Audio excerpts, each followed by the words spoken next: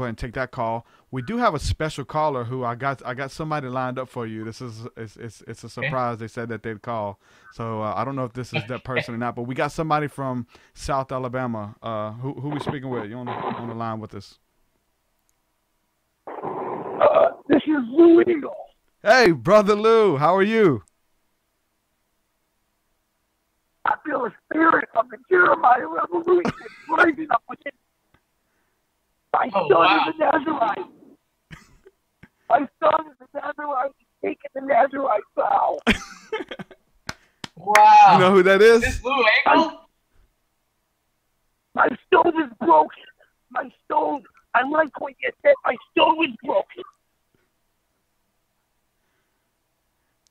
Need to rekindle the fire. The Jeremiah Revolution rising up within us. Yeah. The call 2018. Yeah. Lou, man, thanks for calling, Levi, brother. you're an armor bearer. Levi.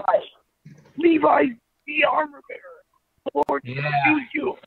Gonna use you. Hallelujah, really- friend. You really spoke an amazing word over my life, Lou.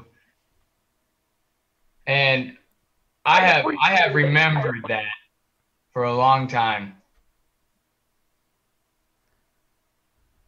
And I believe I'm, I believe I'm living it out. I believe I'm stepping into everything that you said over me when I was 12 years old. Oh, Hallelujah. Hang, hang on a second. Yeah. Can I get a number two? It's a Coke. Wow. Sorry about that. I'm not. I'm guessing he's in the drive-through. Lou, brother Lou, called in. Check. I'm here, friend. I'm here. He calls in from time Hallelujah. to time. That's awesome. Ba, ba, ba, ba, I'm loving it. Good deal. Man, you spoke over my life and you said, Where's the kid with the rat tail? You called me out of the crowd. You called me up there and you said, You said, What's your name? I said, Levi. You're like, Levi, God has written a book of your life. And you're like, when you turned 13, I was three days away from turning 13. You knew me from nothing. I was three days away from turning 13. You said, when you turn 13, you're going to go through a test. And you're going to pass that test. And in your teenage years, you're going to be known as a man of God, a, a man of prayer. And then in your 20s, you're going to shake America for God. And Lou, I think that all of that has happened in my life up to this point. I'm 25 years old. I got five more years left. And I, I'm feeling God stirring in my life so many good things and and to speak into people and to do things for my generation. And boy, I tell you what, it is good to hear from you.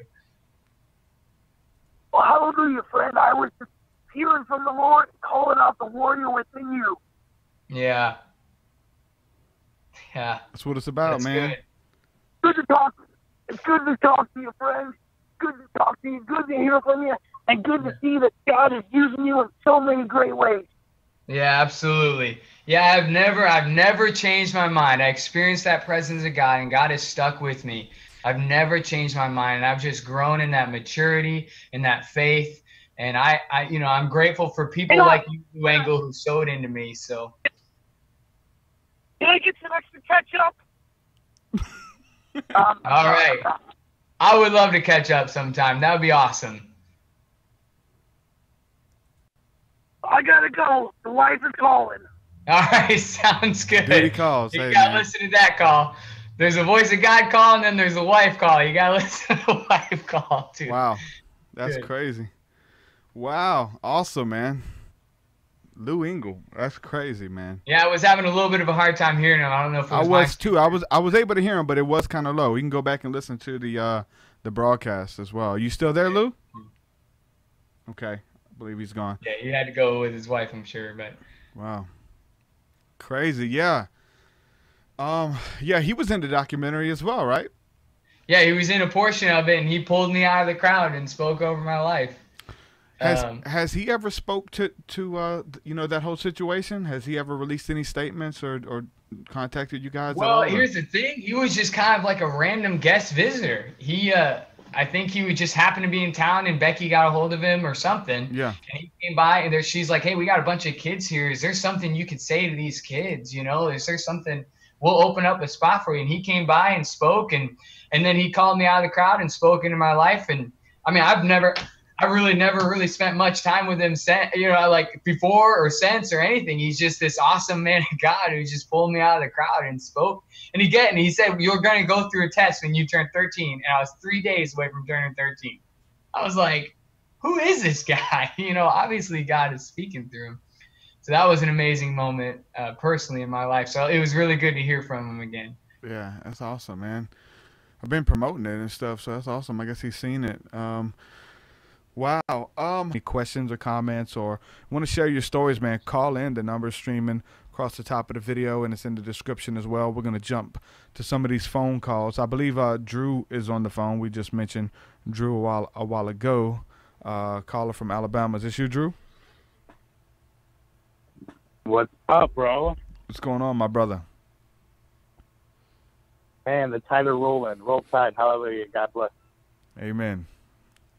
Hey, um, I need, and I we can go into this story too, but I need um if if if he's there, can you punch? Can can you give Lou the phone? I think um I think Michael Basham's a, a fan of uh Lou Engle. Do you know who Lou Lou Engle is? Michael Basham? Yeah, yeah, yeah. We're actually at a we're actually at a uh, a marriage conference right now together. It's a seminar for uh, new young couples for uh, uh, just how to be a godly household. But uh, hang on, let me If get you him. got, He's in the yeah, if other you got a second, it'd be awesome if Lou Engle can come on and just say hi. The evangelist. Awesome. Yeah. Okay, okay. Hello, Hey, Lou. this is the Jeremiah Revolution. Hey, my son's a Nazarite. The Jeremiah Revolution. Hallelujah. The call of the Nazarite. Uh, you guys are expecting a big turnout for the call this year? You know, brother, there is a call of the Lord that's on this earth right now that's never been before. Call of the Jeremiah Revolution for us to rise up, rise up from who we are to who where God wants us to be. I feel it stronger than ever. I haven't changed in months.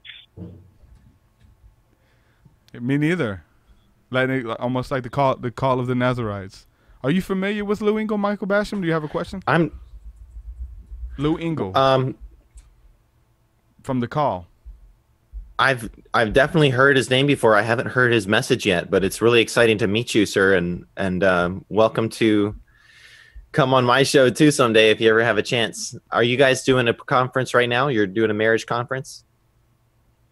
Hopefully, yes, we'll um, yes, get we it. are. We- Can't hear you very clearly. right now,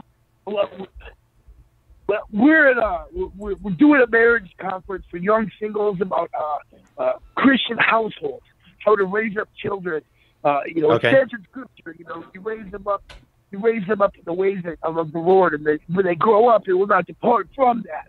And that is Yeah. our heart. That is our heart. The call and the Jeremiah revolution. Beautiful. It sounds like every other conference though. Hang Lou, where's Hang um? somebody- Go ahead. uh, we got to knock on the door. I think it's Domino's.